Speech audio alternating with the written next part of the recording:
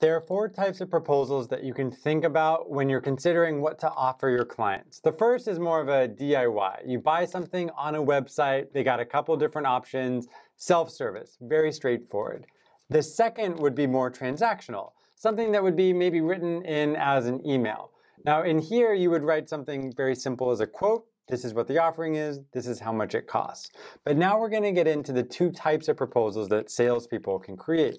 The first is a more traditional proposal that only has about three pages or so.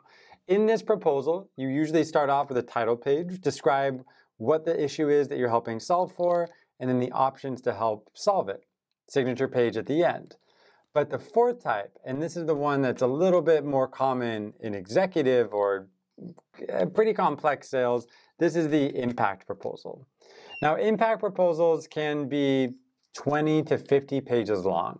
And the reason why there's more information here is because we have to tell the story from different people's perspectives. There's going to be many people reading this. It's a complex solution, therefore you will have different types of ways that you can solve for it. Now, the traditional way of starting off a proposal like this is to have a title page and explain who you are and why they should work with you. But things are different now. The way that you need to structure it is this second page needs to be about your client. Now, if you think about what a typical person does that's never worked with you before, the first thing that they look at is not reading through from beginning to end. They go all the way to the end and just look at the price.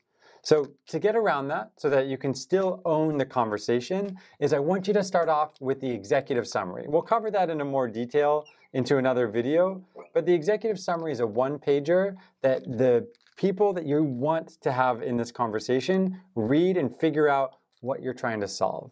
In here, it gives all the information on the reason we're having this convo, the context that led to it, and the ballpark recommendation on it. Now, how we talk about price is going to be nuanced. So there's going to be a separate video for that.